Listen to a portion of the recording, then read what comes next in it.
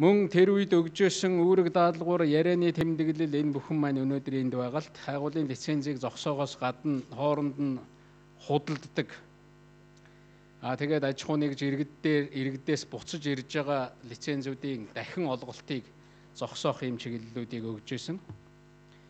Тэгэхээр одоо энэ асуудал нэгэнтээ их хурлын төвшөнд яригдахаар төлөвлөгдөж байгаа ийм одоо зүйл учраас ер нь энэ тал дээр ашигт малтмлын одоо лиценз тойрсон энэ асуудал дээр тодорхой судалгаа одоо тодорхой ийм аа тооллого гэдэг юм уу энэ зүйлийг бол хийх шаардлагатай гэж ингэж бодож байгаа. Ойрын өдрүүдэд бас ийм ажлыг хийя гэж бодож байна. Яг хичнээн лиценз олгогдсон, хэдэн ашиглаж ашиглаж байгаа, хэдийн буцааж өгсөн, хэдэн өнөөдөр хайх төвшөнд байгаа юм гэдгийг бүгдээрээ мэдэх шаардлагатай гэж ингэж бодож байна. Тэгэхээр энэ эрдэс баялагийг тойрсон энэ сэдв 2005 оноос эхэлж их хүчтэй яригдж эхэлснийг мэдж байгаа. Би тэр үед Монгол Улсын ерөнхий сайдаар ажиллаж исэн. 2005 оноос эхлээд манай ахмадууд цуглаан зохион байгуулаад ярилцаад гаргаж асуудал тавьдаг байсан. Их хурлын гишүүдийн зүгээс гаргад тавьдаг. Манай эрдэмтдийн зүгээс, судлаачдын зүгээс гаргад тавьдаг. Иргэний хөдөлгөөнийхний зүгээс гаргад тавьдаг байсан. Тэр үед яригджсэн нэг тоог та бүхэн санаж байгаа Монгол улсын нийт нутаг дэвсгэрийн 40 гаруй хувь нь бараг тал хувь нь ашигт малтмлын хайгуулын лицензэд одоо хамрагдсан байна гэж. Лиценз гэдгийг ашигт малтмлын хайгуулын лиценз гэдгийг нөгөө талаар бид ашигт малтмлын хайгуулын тусгай зөвшөөрөл гэж нэрлэдэг л.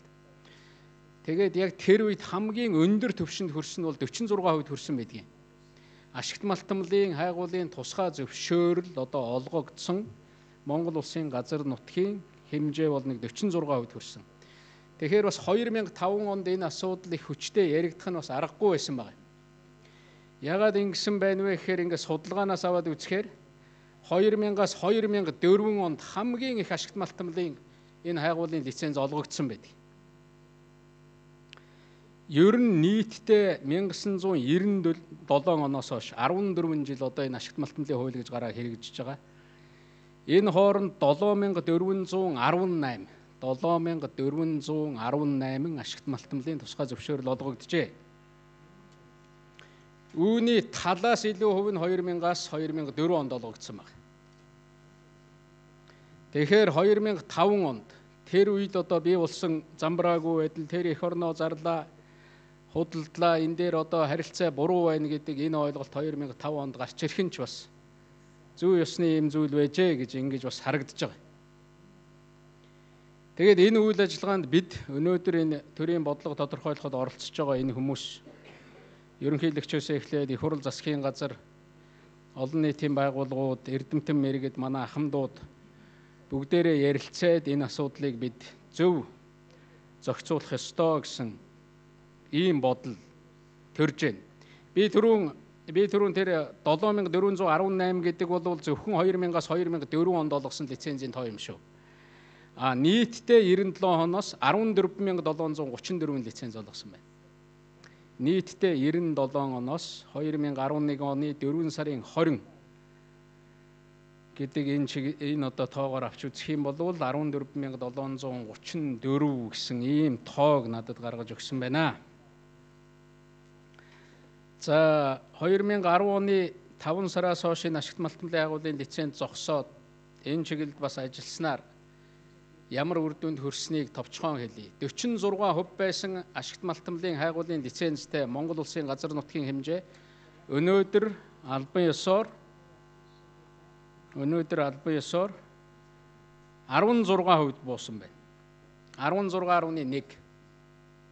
Тэгэхээр 30%-аар багасгаж чадсан.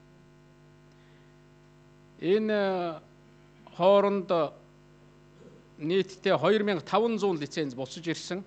Энэ нь 22 саяга талбай талбайг хамарч байгаа. Тэгэхээр энэ чиглэлд бол өнгөрсөн хугацаанд би зүгээр ашигт малтмлын хайгуулын лицензтэй холбоотой гарсан одоо дэвшил гэж хэлж болохоор энэ зүйлийг бас ингэж мэдээлэх нь зөв байхаа гэж ингэж бодож байна. Тэгэхээр ер нь 2007 оноос хойшоо Монголын энэ эрдэс баялагын салбар ашигт малтмлын тухай асуудал одоо хуулийн хүрээнд зохицуулагдсан 2005 оноос хойш нэлээд эрчимтэй ард иргэдийн дунд яригдсан 2005 оноос хойш тоолох юм бол одоо 6 жил энэ хуулийн сургамж алдаа онооны тухай л одоо монголчууд маш их өргөн хүрээтэй ярьж байгаа ийм зүйл. Тэгэхээр энэ иргэний танхим байгуулагдаад байгаль орчны чиглэлийн асуудал, ашигт малтмлын энэ хуультай холбоотой лиценз зөвшөөрөлтэй холбоотой асуудал бас энэ танхимын хүрээнд яригдж исэн. Ерөнхийлөгчийн хүрээнд ч нэлээд хэдэн удаа яригдсан ийм зүйл байна манай зарим эрдэмтэд, зарим удаахамдууд, геологчид, улсууд энэ дээр санал боловсруулад ажиллаж байгаа. Тухайлбал одоо хурцгаа бол бүр одоо хуулийн төсөл хийгээд ингээд ажиллаад явж байгаа. За хариуцсан яамд чиглэлийн газруудаас ч энэ дээр саналаа боловсруулад явж байгаа. Тэгэхээр өнөөдрийн энэ хэлэлцүүлэг би энэ 9:30-аас эхлээд 12:30 хүртэл маргааш бас 9:30-аас эхлээд 12:30 хүртэл ярья гэж байгаа. Энд бол ярих маш их сэдв байгаа. Энэ хэлэлцүүлгийн гол зорилго бол та бүхэнд төрийн зүгээс, засгийн зүгээс, ерөнхийлөгчийн зүгээс юм уу одоо хуулийн төсөл гаргаад юм энэ асуудлыг ингэж шийднэ гэдэг бодлого тулгах гээгүй. Эхлээд та бүхний саналыг сонсъё. Хамгийн гол асуудал өнгөрсөн хугацаанд явж ирсэн энэ сургамж нь юу байсан, алдаа нь юу байсан, ололт нь юу байсан. А шинээр хууль гаргана гэвэл ямар одоо асуудлыг хөндөх ёстой юм. Хамгийн гол нь ямар асуудал байна? Түүнийг яаж шийдэх вэ гэдэг шийдлэл төрчээрэй.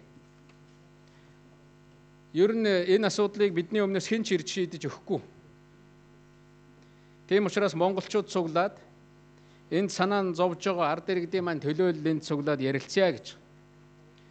Одоо жишээлбэл өнгөрсөн хуучин хуулинд байж байгаа хөрөнгө оруулалтын гэрээ гэдэг ойлголт шинэ хуулинд тусах хэрэг байна уугүй юу? Тийм байдлаар татварын болон бусд хөнгөлтийг одоо тэр хөрөнгө оруулагчид олгох хэрэг байна уугүй юу? Энэ мөчөөс цаашаа. Эннийг аль эсвэл Монгол улсын бусад одоо тэр хууль татвар бусад хуулиараа зохицуулаад ингэ явчих шаардлагатай байна. Төрийн оролцоо гэж их яригддаг 51%.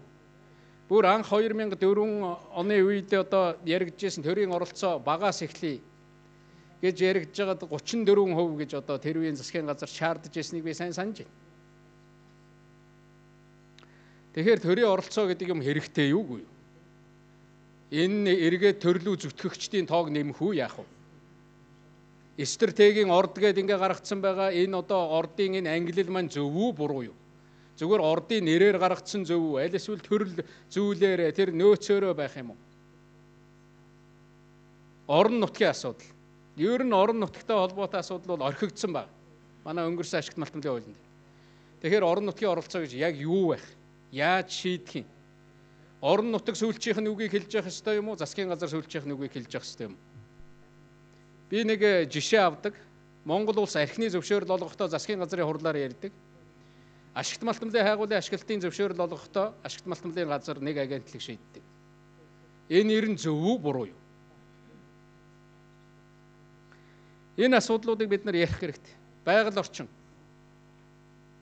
Эхлээд э, тэр зөвшөөр лицензээ олгочоод хойноос нь байгаль орчин гэж ярьдаг нь зөв байна уу буруу байна. Эхлээд тэр хөрөнгө мөнгийн аль эсвэл авах ёстой юу? Тэгээ байгаль орчинтой холбоотойгоор энэ уурхай ашиглагдаад дараа нь энэ уурхайн хаалт гэдэг ойлголт ерөөсөө байхгүй. Уурхайн хаалтыг яаж хийх? Тэрнийг төлөвлөсөн байх ёстой. Тэнд 20 мянган хүн 40 мянган хүн амьдарч байна. Тэр хүмүүс тэр уурхай байхгүй болсон цагт цаашаага яаж амьдарч явах вэ? энэнийг хэдийдэн төлөвлөх юм бэ? Ерөөсөө манад энэ уул уурхаан төлөвлөлт гэдэг ойлголт байхгүй. Энэ хуулинд ч байхгүй. Ер нь Монгол улс цаашаага ингээ газар руугаа уурхааруугаа дайрсан орн байх юм уу? Аль эсвэл өөр салбаруудаа хөгжүүлэх юм уу? Хаана очиж бид нар хазаараа татах юм? Юун дээр очиж асуудлаа шийдэх юм бэ?